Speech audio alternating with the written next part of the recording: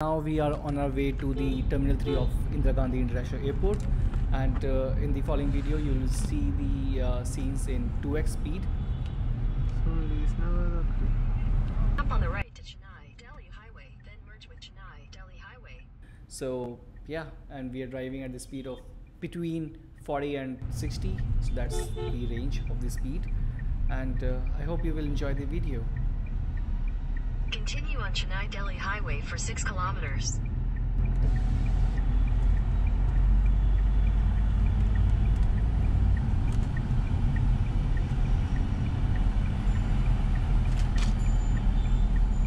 And to reach to the airport, we have taken the route uh, from Badarpur to Nehru Place to Terminal 3. So that is our route.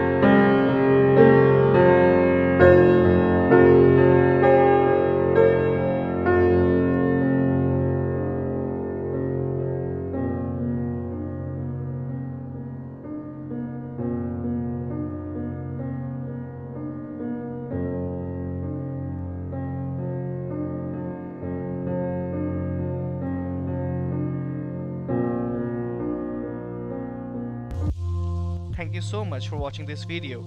I hope you enjoyed it. You can support this travel and exploration YouTube channel by subscribing to it and sharing it with your friends and family. Thanks so much for watching.